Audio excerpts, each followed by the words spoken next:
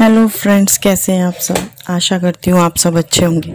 आज मैं आपके सामने लेके आई हूँ एक और टॉपिक वो है liability what is the meaning of liability liability को समझने से पहले मैं आपसे एक रिक्वेस्ट करना चाहूँगी कि अगर आप मेरे चैनल के नए व्यूअर हैं तो अभी सब्सक्राइब करें मेरा चैनल और नोटिफिकेशन के लिए बेल आइकन को दबाना बिल्कुल ना भूलें, ताकि मेरी हर नई वीडियो की नोटिफिकेशन आपके पास आती रहे। चलिए देखते हैं लाइबिलिटी क्या होता है। लाइबिलिटी मतलब दायित्व liability is defined as obligation that your business need to fulfil in simple words liability means credit liability का मतलब है दायित्व, कर्जा या ऋण हो सकता है। जो पैसा आपको किसी दूसरे पार्टी को देना होता है तो उसे हम लाइबिलिटी कहते हैं। उसे हम कहते हैं लाइबिलिटी किसी भी कंपनी के द्वारा किसी अन्य कंपनी या ऑर्गेनाइजेशन को दिया जाने वाला राशि या मूल्य लाइबिलिटी कहलाता है. लाइबिलिटी का मतलब होता है कि अपने पॉकेट से पैसा किसी दूसरे के पॉकेट में सेंड करना. या अकाउंट में सेंड करना, वो हमारी एक लाइबिलिटी बन जाती है। साधारण शब्दों में समझें तो किसी एक कंपनी के द्वारा दूसरी कंपनी को दिए जाने वाली संपत्ति लाइबिलिटी कहलाती है। ठीक? लाइबिलिटी में तीन चीज़ें अहम होती हैं वैसे। Present the business with an obligation the obligation is result of past event और थर्ड अहम है, जो है settling the obligation will require an outflow of valuable resource ठीक है? मतलब हमारे बिज़नेस में अभी किस चीज़ की कमी है, किस चीज़ को और लगा सकते हैं, और पास्ट में हमारा क्या रिज़ल्ट रहा है, जो आज हमें ये लाइबिलिटी मिली है settling the obligation will require an outflow of valuable resource कौन कौन से ऐसे रिसोर्स हैं जो आउटफ्लो पर वैल्यूएबल जिन पर हम देख सकते हैं। ठीक। Liability also include amount receive in advance for future services liability जो है, एक अमाउंट है हमारा, जो हमें मिलता है हमें फ्यूचर सर्विसेज़ के लिए। सिंस द अमाउंट रिसीव जो हमें अमाउंट रिसीव होता है record as the asset cash ठीक है? Has not yet been earn चाहे वो हमने अर्न किया है company defer the reporting of revenues and instead report a liability which an earn on revenues और कस्टमर डिपॉजिट इसके, इसका इम्पैक्ट डिप्रेशन पर डेप्रिसिएशन पर पड़ता है। Liability are non depreciation in nature इसका जो नेचर है, वो नॉन डेप्रिसिएशन कहलाता है। फॉर्मूला इसका क्या कहलाता है? इक्विटी लाइबिलिटीज जो हैं असेट्स में से माइनस करेंगे शेयर होल्डर की इक्विटी को, हमारा निकल के आएगा liability impact on cash flow इस पर कैश फ्लो पर क्या इम्पैक्ट पड़ता है? It is responsible for outflow of cash from business business का जो हमारा आउटफ्लो का है, उस पर हमें ध्यान देना है कि हमारे को कितना आउटफ्लो हुआ है, कितना नहीं हुआ है, वो हमारी एक लाइबिलिटी में दिखता है।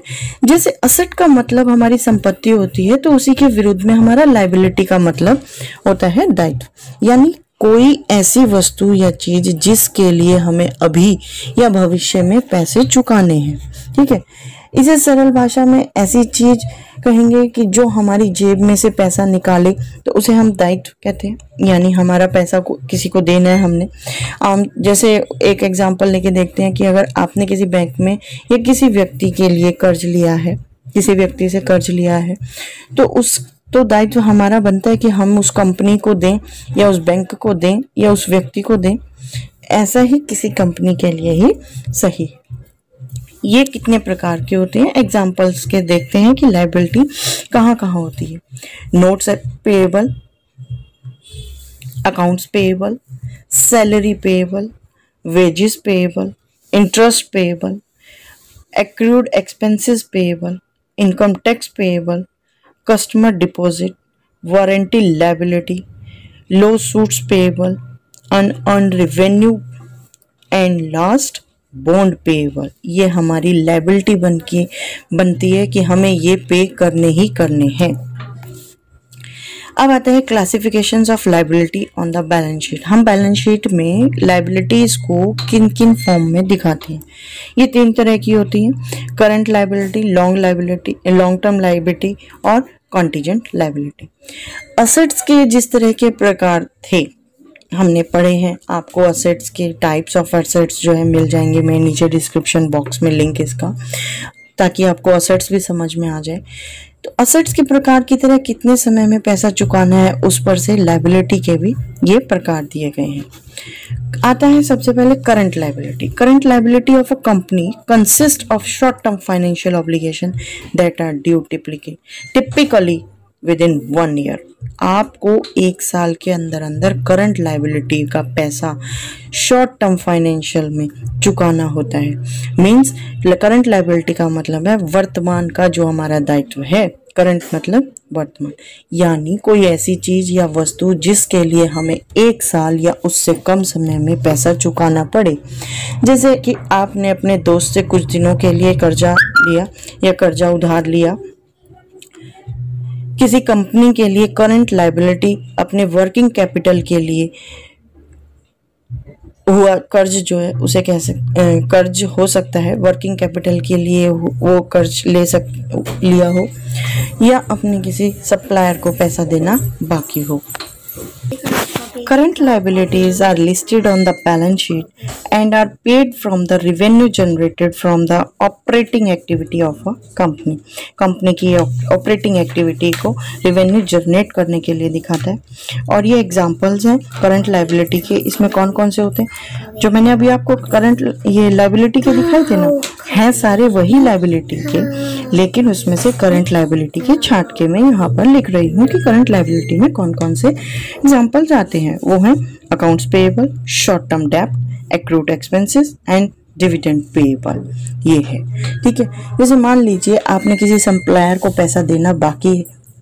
और इन सभी चीज़ों को हम करंट लाइबिलिटी में जोड़ते हैं। ये आपकी करंट लाइबिलिटी है। Cash dividend payable accrued expenses short term note payable accounts payable taxes payable earn earn revenues ये हमारे करंट लाइबिलिटी में। अब इसका फॉर्मूला क्या कहता है? ये जो आपको जितने भी पेएबल हैं accrued expenses earn earn revenue current portion of long term डेप्ट तो ये सब क्या कहलाता है? डेप्ट और शॉर्ट टर्म डेप्ट जो क्या कहलाता है? करंट लाइबिलिटी इन सबको हम प्लस करके देखेंगे तो हमारा जो है करंट लाइबिलिटी निकल के आएगा। अच्छा नॉन करंट लाइबिलिटी क्या होता है? Non current liability non current current liability मतलब लॉन्ग टर्म लाइबिलिटी मीन्स भविष्य का दायित्व, यानी कोई ऐसी चीज़ या वस्तु जिसके लिए हमें एक साल से ज़्यादा समय में पैसा चुकाना पड़ा। जैसे आपने बैंक से लिया हुआ लंबे समय का कर्ज, किसी ब्याज के साथ आपको भविष्य में वापस देना है, उसे नॉन करंट लाइबिलिटी कहते हैं। किसी कंपनी के लिए नॉन करंट लाइबिलिटी किसी बैंक से लंबे समय का लिया हुआ कर्ज या उसके द्वारा जारी किए हुए डिबेंचर्स हो सकते हैं, ठीक है? जिसके लिए उसे लंबे समय से ब्याज के साथ पैसा वापस देना हो। इन सभी चीज़ को नॉन करंट लाइबिलिटीज या लॉन्ग टर्म लाइबिलिटीज कहते हैं। किसी भी कंपनी या व्यक्ति के असेट्स एंड लाइबिलिटी को हम उसकी बैलेंस शीट से जान सकते हैं। ठीक है? कि हम जो अपने अकाउंट्स बनाते हैं, कि हम उसमें हमने किसका कितना देना है और किसका कितना लाइबिलिटी बनती है और किससे हमारी कितनी बिज़नेस चल रहा है, आ रहा है। तो दोस्तों असेट्स और लाइबिलिटी के बारे में हम जान चुके हैं। उम्मीद करती हूँ कि असेट्स और लाइबिलिटी का ये मतलब मीनिंग आप अच्छे से समझ चुके होंगे कि क्या होते हैं current liability non current liability और असेट्स का आपको मैंने पहले समझा ही दिया है। अब मैं ये लास्ट हमारा कॉन्टीजेंट लाइबिलिटी है, इसे भी समझते हैं। Contingent liability can be current और लॉन्ग टर्म ये हमारी करंट लाइबिलिटी भी हो सकती है और लॉन्ग टर्म लाइबिलिटी भी हो सकती है. एक contingent liability is a liability और a potential loss may occur in the future depending on, on the outcomes of a specific period. Contingent liability जो है वो हमारी लाइबिलिटी हो भी सकती है और ये हमारी लाइबिलिटी हो भी नहीं सकती। एग्ज़ाम्पल के थ्रू मैं आपको बताती हूँ। फॉर एग्ज़ाम्पल मान लीजिए आपका एक बिज़नेस है। पैसे की ज़रूरत पड़ गई है। आपने अपने बैंक के पास गए।